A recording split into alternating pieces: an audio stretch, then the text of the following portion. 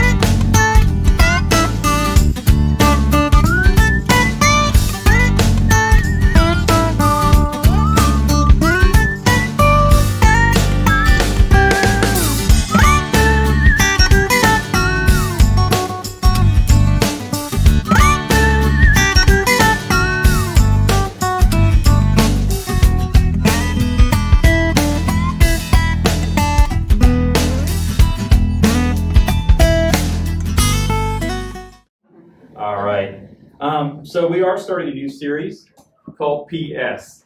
Uh, this simple abbreviation starts for postscript, right? Postscript.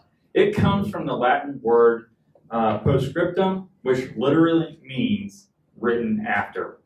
Have you ever, I mean, in today's society, right, we, we text, usually, or even an email, right, we push send. And then all of a sudden we're like, oh man, I forgot to add this. I forgot to add that. I forgot to, you know, tell them this. And then we're either sending another email or we're sending another text or we're calling them up and saying, hey, I forgot to add this. Um, it's one more thing. Everybody say one more thing. One more thing. The postscript is an additional thought or that is added to a letter. Sometimes it's even added to other documents that come after it's been completed. You write the main body. I remember when uh, my grandmother used to send me cards from Tennessee and, and letters. She would write, you know, the, I'm doing this, I'm doing that, you know, and then she would always write P.S. P.S. I love you, I miss you, whatever it is. Um, today in our digital society, uh, handwritten letters have become more and more rare in the world. We just don't do it as often as we used to a couple generations ago.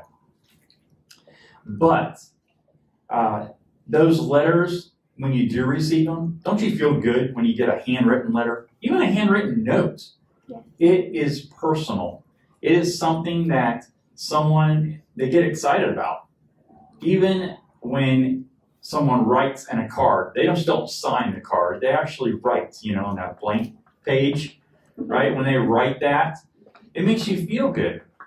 Even when you are writing that, um, it is a personal letter. It's a personal words from your heart. P.S. at the bottom of the page means so much more. With Valentine's Day just around the corner, P.S. I love you is going to be real popular, right? P.S. I love you. This is going on in my life. P.S. I miss you. P.S. I wish we could get together. Whatever it is. You know, all that mushy gushy stuff for Valentine's Day. But it's not just the personal ones um, that really get to you. Sometimes they can be even a little uh, misleading. Like the grandmother that wrote her too busy granddaughter, adult granddaughter, that ended her letter with this P.S. Thank you for reading this letter. Letter. Uh, maybe a little sarcasm, right? If someone is too busy, you're like, are they even going to read it? Are they even going to care? But we got to think about maybe the six year old little girl named Emily who wrote Santa with all the things on her wish list and ended with P.S. Santa, I don't think you're fat. Oh. And how tall are the average elves? Right? Hey, you don't know what's going to come out of a little kid's mouth. Or the letter from the supervisor that he received from an employer expressing how much he loved the job, how much he enjoyed the job, his coworkers and customers that he used to or would meet daily. But at the end of this heartfelt letter, he wrote, P.S. I quit. I won the lottery last night. Oh my God. You never, never know.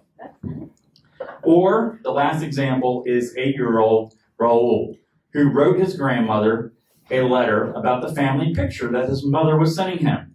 P.S. I'm only smiling in the picture so you will think I'm having fun.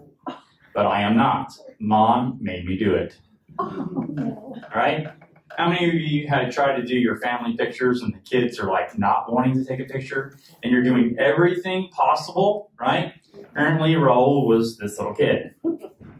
All month long, we are going to focus on one man that wrote a lot of PSs in his books, Paul. He wrote love letters to the church. For the month of Valentine's Day, you know, we talk about love. Well, Paul was passionate. You gotta be passionate if you're writing a love letter, right? It's just not something you just, oh, it really doesn't mean anything. No, Paul was passionate about the letters to the church. He wrote 13 books of the New Testament, and it was to reach the church. It was to encourage the church. How many of you like to get letters that are encouraging, right? Paul was that guy. He wrote those letters and he ended most of them, not all, he wrote or ended most of them with a PS. But to help us understand the PS, we have to look at the content of the letter with Paul. So if you would, turn with me to the book of Philippians.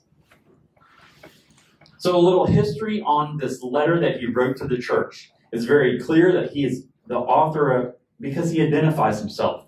Right? I'm Paul. I'm Paul. Candidates for this place where he wrote this letter include Rome, Ephesus, Corinth, or Caesarea. But it is clear that Paul was imprisoned at the time, and he was actually imprisoned not in a prison cell like we would think, right? Because we found Paul in the middle of a prison cell before. But this is a little different. Paul is actually in the Roman general's tent with guards. Not the worst condition, but he is not free to go. Paul is being persecuted for preaching the gospel, sharing the good news. However, he's not free to just walk out. He is under guard. But he is still able to reach a church. Paul wrote in his letters to the believers of Philippi. This city was located in a gateway between Europe and Asia. And it was kind of like a mini Rome. It was a smaller city, but it was influenced highly by Rome. A large number of the uh, population was Roman citizens. It was a wealthy city because it had gold and silver mines that were close by. Today, the ruins are found in modern day Greece. The Philippians, uh, they were proud of their Roman heritage. They dressed like Romans, they often spoke Latin. Many of the Philippians were retired military men who were given land in the vicinity, who had served a term, and were given this land to be a military presence. So basically, they retired from the military, and the Roman government said, hey, we're going to give you some land if you go occupy this area, but you're not going to be officially retired because we need you as a military presence, right? You know people that have retired but not retired? Well, that was these men. Paul is not addressing an uh, overriding concern in his letter. See, some of his letters start out where he's got an issue he needs to correct. Paul isn't, in this letter, he's not correcting the church. Paul is pouring out his heart to the church. Paul is, for the most part, simply a pastoral communication between Paul and the church that is especially dear to him. He's reaching these loved ones and he's saying, Hey, I love you guys. I haven't seen you in a while. I want to encourage you. In this letter, he identifies three themes joy, humility, and thanksgiving. I don't know about you, but I like those, right? Again, it wasn't correction, it was just out of his heart. He was facing persecution, imprisoned, and he could face death at any time. He didn't know what the future held. But how would you like for someone to write you a letter encouraging you, speaking about joy and humility and, and thanksgiving? And he was in a, a desperate place. It encourages me to realize that, you know what, sometimes even when I'm in a bad spot, I can still encourage other people. Paul was that guy. I think we can learn a lot from Paul's letters. When we read this, we realize that he wasn't just directing this to a small group of people in a city. He was addressing us today in the church. He is addressing us, saying, Hey, I want to encourage you. There should be joy in your life. You should have humility. And there is a time of thanksgiving. So today's uh, message I want to title Surrounded by Caesar's Household. Now, I know exactly that's not really a chipper title because, again, he is in prison, but he is mentioning joy, humility, and thanksgiving. So I think we gotta have to dissect that a little bit before we get to the PS at the end of his letter. I believe it'll make sense when it comes from his heart. He addresses that Timothy is with him and he directs the greetings to all the saints, to the overseers, and the deacons of the church.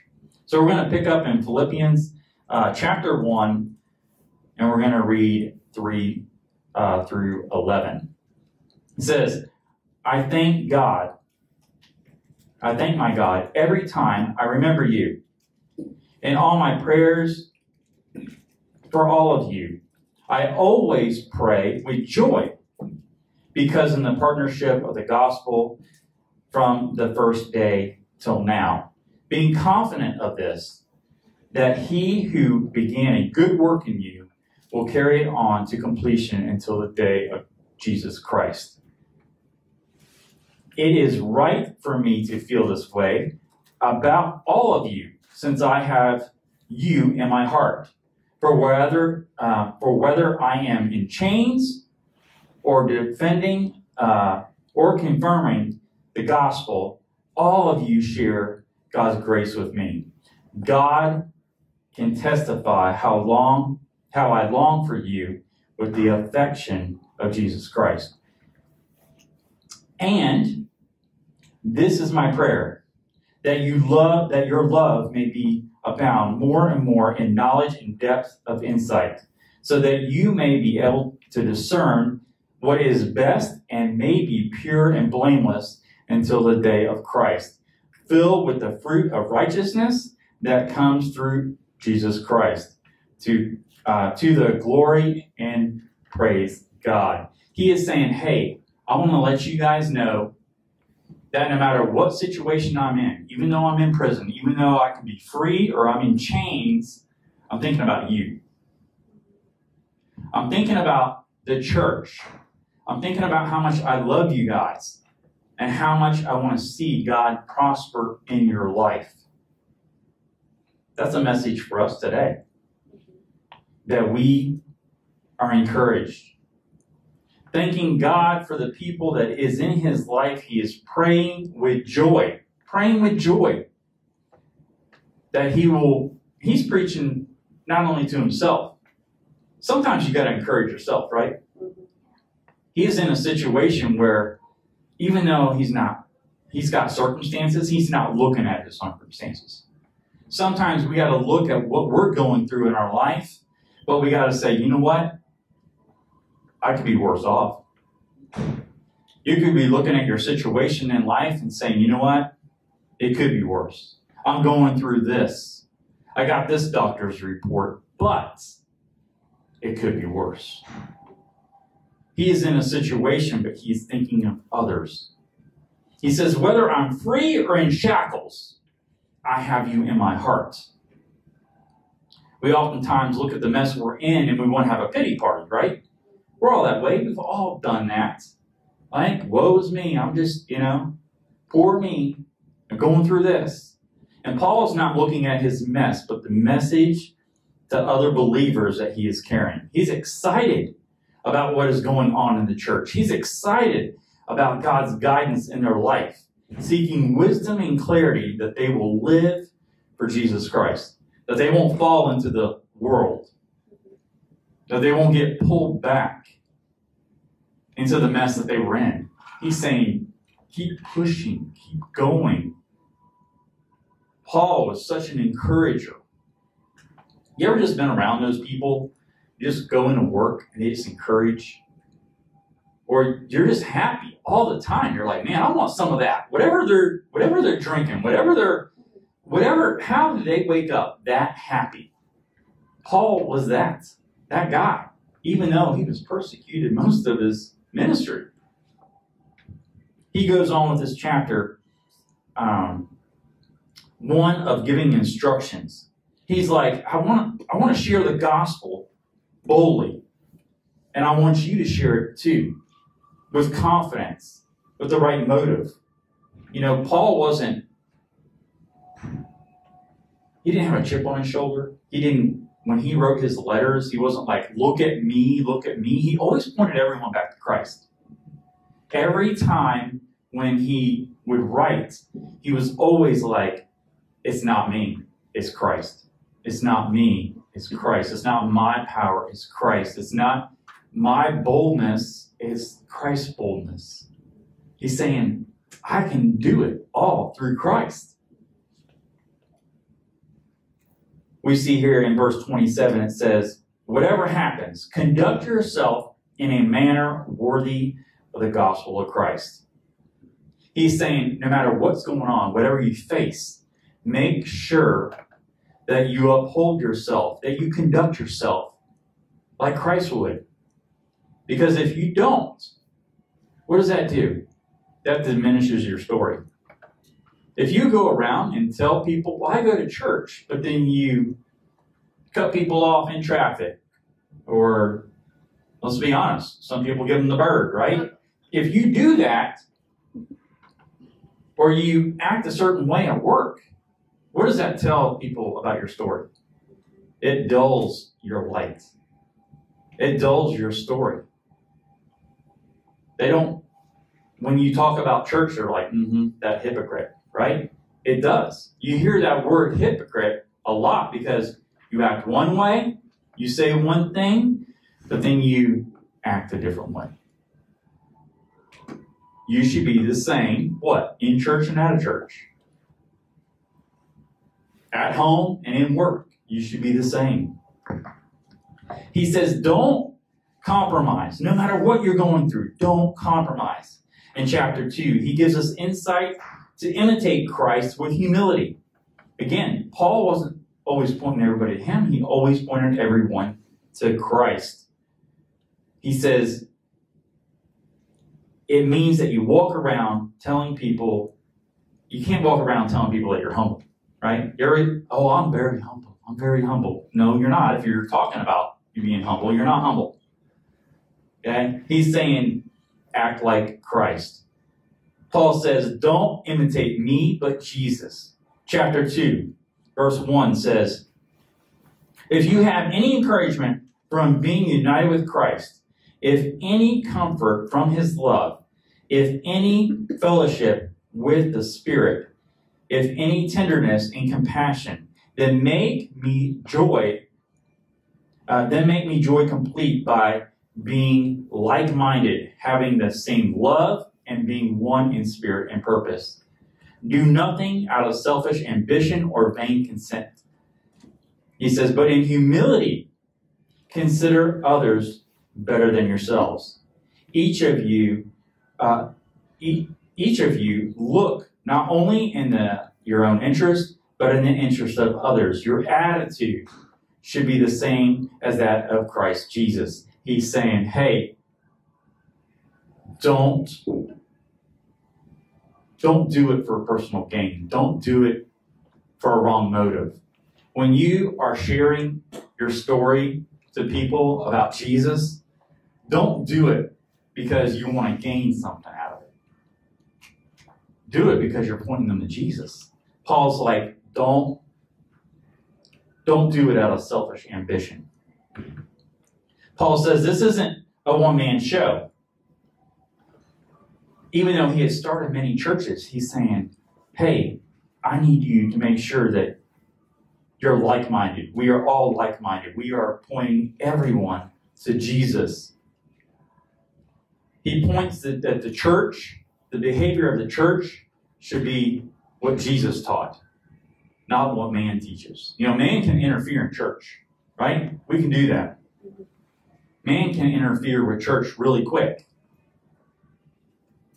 If you take Jesus out of church, all you have is a club.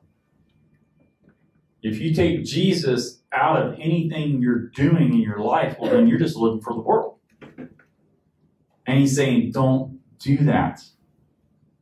He said you need to be boastful about the gospel, but not arrogant. Arrogance will turn people off really quick, right? He's saying, don't walk around with a chip on your shoulder. He said, I didn't do it. Jesus didn't do it because Paul did. When he was Saul, before he had his transformation, before he had his, his blindness on the road to Damascus, he did have a chip on his shoulder. He was, what? A couple weeks ago, I talked about the murderous threats. He was going to throw anyone that was of the way, right, of the church in jail. But, and he had a chip on his shoulder then. But after he had that encounter with Jesus, after he was blinded, after he was anointed, and they and God says, I'm changing your name to Paul. Humility came about. Most of the time, though, we see Jesus spoke in third person. He didn't go around just saying, I'm the Son of God, look at me. Right? He always was in care of everyone else. And Paul seen that. Paul got that experience. The disciples were the same way. They seen how Jesus walked and talked, and they moved on with the church. Paul didn't have a problem reminding the church to stay focused on the many letters that he wrote. He says it in this statement in chapter 3. It says, Finally, my brothers, rejoice in the Lord. It is no trouble for me to write the same things again to you. Repeat. You think as humans we forget a lot of things, right? We read something, we watch something, we have an experience, and then we forget. You ever do something where you need a reminder over and over and over again? Right? Reminds me now I was in elementary school and you, I goofed up a lot. Okay? I wasn't a model student. Believe that. I know, it's hard to believe. Okay? Um, and you have to write on the chalkboard or on paper, I will not talk in class.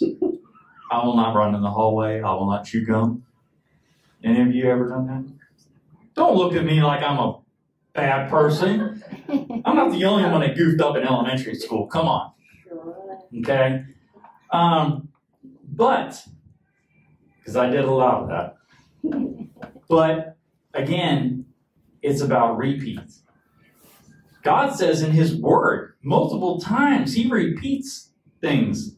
That's why the Old Testament and New Testament merge together. They're married together. Why?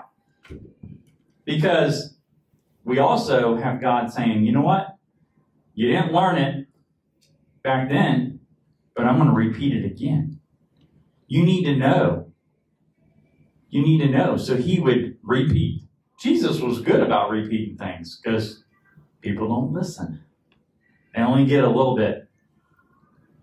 You know, they say that you can, you only retain about 10% of your learning.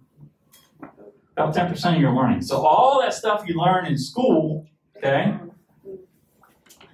And so then you watch people on Jeopardy and you're like, how in the world do they, how do they know that? Right? It's aggravating. If I get one or two questions right, I'm like, whoo, I'm a genius. But, okay? But God repeats, repeats. And I think that's just telling us, hey, we need to pay attention. Paul reminds us to press on. Say that with me press on. Press on. Chapter 3, verse 12, it says, Not that I have already obtained all this or having or have already been made perfect, but I press on to take hold of what of which Christ Jesus took hold of me. Brothers, I do not consider myself to be taken hold of or hold of it, but one thing I do, forgetting what is behind and straining forward to what is ahead. I press on towards the goal to win the prize for which God has called me heavenward in Christ Jesus. He's reminding the church don't act like you've already arrived. Don't act like just because you walk in the doors of the church or just because you you wear that bracelet that says you're a Christian or you go to a church or you wear that shirt, you know, all those logo church shirt logos, you know. Why are you calling me out? I see how it is. But when you but when you do that, right?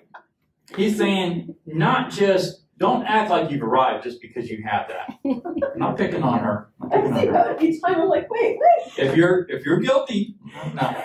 oh, Lord help me. But what it is is he's saying don't act like you have you have it all together. Because we don't, right? We're humans. We're messed up. We're messed up. That's why we have a message. And he's reminding you, out of your flesh, your sinful nature, don't act like you have arrived. You need Christ. You need him in your life. Paul reminds us to press on press on. He's saying we have all fallen short. He's saying don't don't skip forward, don't dance forward. He's saying no, strain, you're going to be strained. It's going to be an effort. Straining means effort. It's not going to be easy. Paul didn't say, well, everything's going to be great. Straining means that there's an effort, there's energy. Nothing is going to be just handed to you in life. And just like that guy that says, I quit, I won the lottery last night, okay? Well, guess what? Just because you have money doesn't mean you all your problems go away. Just because you have money doesn't mean that you have arrived. People strive for position and money, and then they get it, and then they're miserable. They're like, well, I've achieved this, but now I still feel empty. Because money's not going to fill it. That's not going to fill your void. Position is not going to fill your void. He's saying heaven and eternity with Jesus is my prize. He says, Here on earth, I have work to do. And many times it's going to involve blood, sweat, and tears. We're going to shed some tears. Paul shed some tears. It's going to take effort. You're going to strain forward. Remember that. It's not going to be easy, but it's going to be easier with him than without him. It's going to be easier to push forward with Jesus and know that he's got your back than try to do it on your own. Because I'll admit, if you try to do it on your own, you're going to fail. If you try to do it on your own, it's going to take longer. It's going to be harder. And you're not going to be able to push through. And of course, we couldn't get out of Philippians with one of the most famous verses of that book, Philippians 4:13. I can do everything through him who gives me strength. Or I can do all things through Christ, right? I can do all things through him. Again, not ourselves, but through him. Paul says, don't limit yourself through your strength. He says, I'm you got to think about I'm sitting here in jail or confinement. He's saying, make sure that you're pushing through. And let's let, wrap up this letter. Um, this is a sh- very short letter. He says um, in verse or chapter four, verse nineteen. He says, "And my God will meet all your needs, all your needs." I like that verse, right? How many of you like that verse? God will meet all your needs, whatever your need is, health, money, provision, whatever it is, emotional. God will meet all your needs, and we stop right there. We stop right there. We like that verse. But then we fail to read the rest of it. And God will meet all my needs according to his glorious riches in Christ Jesus. We forget the second half, right? Because if we only read the first half, then it's he'll meet all my needs or my wants.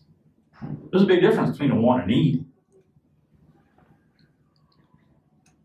It separates that wants from needs.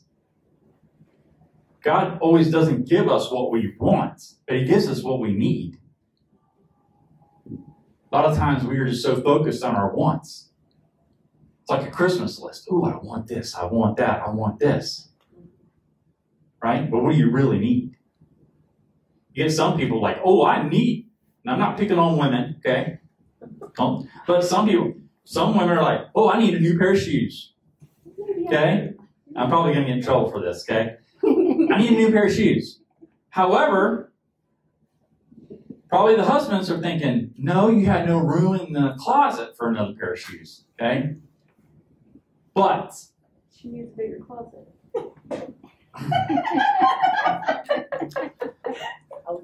I'm trying to help you out, Andrea. Anyways, oh Lord.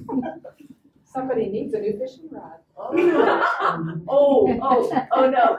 Okay, all right, focus, people, focus. Paul is giving us our wants and our needs, okay? But again, it definitely separates the wants and the needs. We all have those, right? I mean, even when we go to, when we think about, okay, well, I'm going to the grocery store, what am I going to get? What do I want and what do I really need? You know, do I really need this or do I just want it? But Paul wraps up and he closes in verse 20. He says, uh, To our God and Father be glory forever and ever. Amen. Amen, right? He stops. That's it. Everything's good. That's the way he ends it. Everything's good, right? He wrote his letter and he, he finishes it with, To God and Father be glory forever and ever. Amen. But we wouldn't have a title series, a PS, if we stop there. Because he has an afterthought, right? The afterthought was our title. In chapter 4, verse 21, it says, Greet all the saints in Christ Jesus. The brothers who are with me sing greetings. All the saints sing you greetings, especially those who belong to Caesar's household. And the grace of the Lord Jesus Christ be with you in spirit. Amen. So, at first, when I read this, I'm thinking, wait a minute. Caesar's household, he had that big of an influence on Caesar's household. But remember, he wasn't in the palace, he was in the guard's tent, he was in the general's tent. So he was outside of the city. He was he was confined, but he did have an influence. So who was around him? Caesar's household. If you actually look into it, it was the slaves. They were not blood relatives. They were not in any way blood relatives to the emperor. They were either slaves or freedmen that were actually working around the palace or, in this instance, uh, other duties in a servant capacity. Which means that during this time of Paul's confinement, he was sharing the gospel with the men and women that were around him. He was sharing the gospel with them. It'd be great to say, Yes, I shared the gospel with Caesar's household. Right? But he did. He said, I shared the gospel with those around me, with the slaves, with the people that probably would never, ever hear the gospel unless I was confined in shackles in this tent, not free to go, and here I am preaching the gospel to them. He's saying, and I think this is a lesson for all of us. No matter where you are, take every opportunity to share the good news of Jesus Christ.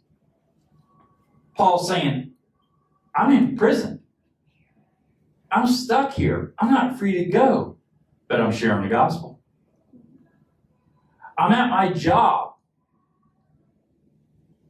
that I really don't like, but I'm sharing the gospel. I got some friends or neighbors that, hmm, you know, they kind of get under my skin sometimes. What should I be doing? Sharing the gospel. Paul is giving us an example to share the gospel. No matter what we're going through, no matter where we're at, we should be sharing the gospel. He did it with passion, and we should be doing it too. Paul was giving us the example that Jesus taught him. Do it with passion, do it with love. Even when Paul's letters were correcting the church, he did it in love. He wasn't doing it to be, you know, malice towards them. He was doing it because he loved them and he wanted to see them do better. He wanted to see them get through whatever was going on. He wanted correction. He loved the church so much that he encouraged. He loved the church so much that he would repeat instructions. And he would again show them examples of what he was going through and how to act. He was doing everything because he said, I can do everything through Christ who strengthens me. He's saying, whatever you're going through, give the message out. Don't look at yourself, but look at the needs of others. That's a message for all of us that we need to take every day. It's just not on Sundays. It's what happens on Mondays. If you would stand with me. Paul was essentially saying, P.S., look around you and press on. Take every God given opportunity, every God given opportunity that you have, and share your life and the gospel with others. He's saying, don't waste an opportunity because you might not get another. But if you can share, man, the impact that it could have on someone's life, life changing, right? Eternal.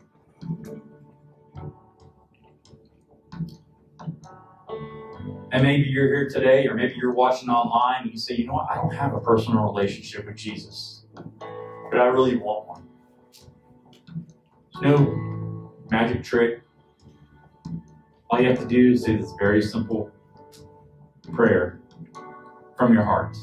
So if everyone would close your eyes and bow your heads, if everyone would repeat after me. Say, Heavenly Father, Heavenly Father, I believe I believe that your one and only Son, Jesus Christ, died on the cross for my sins. But on the third day, he rose from that grave and is alive today. Lord, I ask you into my heart. I ask you into my life. In Christ's name we pray. And everyone said, Amen. Amen.